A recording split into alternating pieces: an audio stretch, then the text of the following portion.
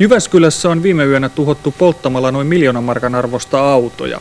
Tuhon kohteeksi joutuivat pesäpallojoukkueen linja-auto ja pikkubussi sekä kymmenkunta muuta autoa. Jyväskyläläiset hieraansivat tänä aamuna silmiään, kun näkivät viime yön tuhon jäljet. Pesäpallojoukkueen autot ja kymmenen muuta, esimerkiksi mäkihyppääjä Matti Nykäsen uusi urheiluauto olivat joutuneet vandalismin kohteiksi. Ja epäilyt kohdistuvat nuoriin. Jos rikoksen tekijä on alaikäinen, sekä poliisi että sosiaaliviranomainen levittävät käsiään. Koska alaikäisiä ei voida viedä oikeuteen, olisi poliisin mielestä sosiaalipuolen vietävä heidät koulukotiin.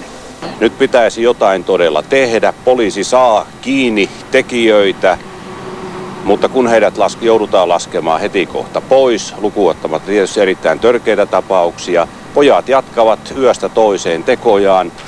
Sosiaalipuolelle asetan toivoni, mutta sieltä ei näytä riittävää apua vielä löytyä.